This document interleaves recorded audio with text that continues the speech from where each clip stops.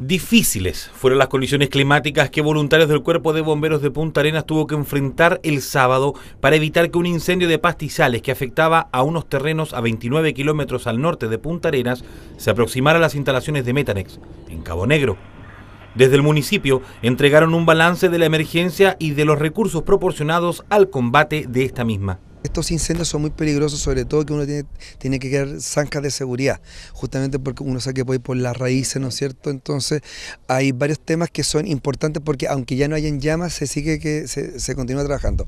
Lo importante, en el momento que, se, que, nos dieron un aviso, llegamos al aljibe, piscina de agua y una retro, finalmente para poder colaborar directamente con los bomberos que están allá desde, desde el día sábado combatiendo este incendio. Más que la afectar la superficie del perímetro del incendio es aproximadamente 40 hectáreas. Ya lo que está a mi espalda en la imagen del monitor, lo que está circunscrito en color rojo, el perímetro, pero al interior de esa zona quedan sectores sin quemar. ¿ya?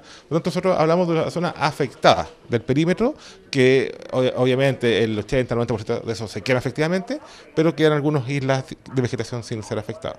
Ahora, esa superficie de 40 hectáreas está dentro de lo esperable, dado que las condiciones de viento en la región y en la noche eh, se mantuvieron eh, constantes, por lo tanto el fuego se mantuvo activo. Recordemos que la emergencia se inició aproximadamente a eso de las 15.30 horas del sábado, luego de que personal de la planta de Metanex diera cuenta del fuego que producto del viento se propagaba rápidamente por la vegetación colindante a la empresa. Fue muy extraño que se haya generado un incendio de pastizal. Estos incendios no son, no son espontáneos.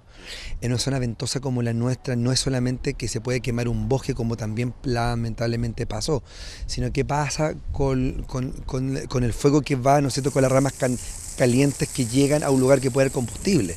yo también les pido a las personas y a la empresa nacional de petróleo, que es dueña de ese predio, que también tomen los recuerdos necesarios, porque esto puede ser una tragedia tremenda.